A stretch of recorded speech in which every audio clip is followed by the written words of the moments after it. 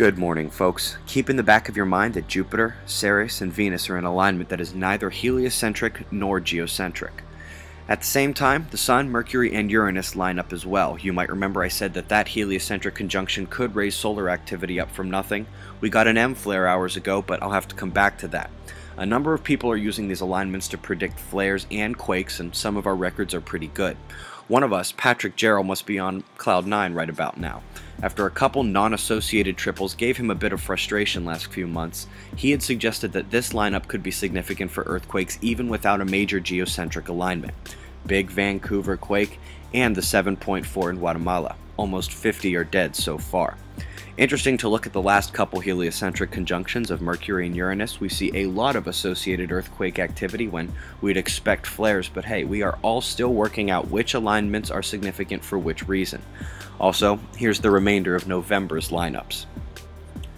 Two buoys in event mode, each near one of the large quakes yesterday. No tsunamis reported, however, and even though this buoy doesn't show an event in progress, it took 60 meter swings yesterday. I find it very difficult to imagine the other detector nearby wouldn't catch that. A landslide collapsed a mine in Nigeria. A truck with radioactive material has plunged into a waterway in Northland. Couple power station issues. The Enrico Fermi nuke plant was shut down, which is better than the Electrabel plant, which kind of shut itself down. The workers missing in the explosion.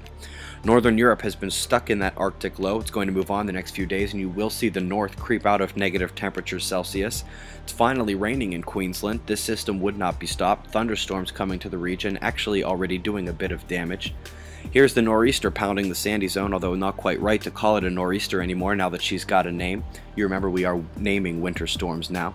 A different low over the north central states is ripping warm, moist air straight north. It's good for temperatures and precipitation.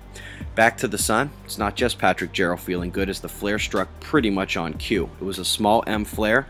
There was a CME produced, not headed at Earth. Gotta take you back seven days to this Earth facing coronal hole. We waited and we waited as it turned. Finally, yesterday, it hit with this density spike, which is a bunching up of the slower moving solar wind particles ahead of these faster moving coronal hole stream particles. Add this to the quake factoring, solar wind speed nearly doubled with elevated density. Our magnetic shield became unstable later in the day, and we did have short lived plasma penetration into our system. Solar flares could ramp up further, quakes as well, especially next week. Eyes open, no fear. It's 6:08 a.m. Eastern Time and that's the news. Be safe everyone.